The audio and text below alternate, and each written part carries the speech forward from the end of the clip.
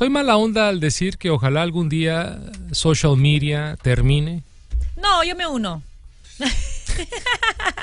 Digo, Es a, veces es padre, a veces te diviertes, pero en la mayoría creo que ya hoy por hoy estamos sobre sobrecargados, Yo creo que eso saturados, saturados saturados. de tanta social media. ¿O será que no sabemos controlar nuestros espacios? Porque podemos decir, bueno, un día le dedico media hora a la social media o mañana descanso y me desconecto de Oh, social media. Dices tú que es una decisión personal. Puede ser, ¿no? Elimina social media de tu vida. Lo malo de social media, que por ejemplo, si tú decides, Mm.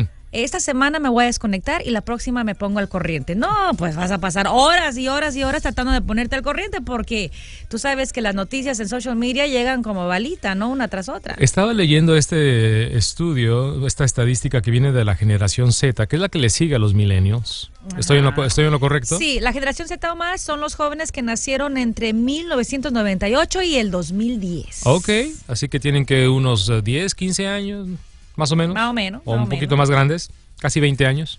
Bueno, el punto es de esta generación que está muy metida en la tecnología, no solamente de social media, pero en la tecnología.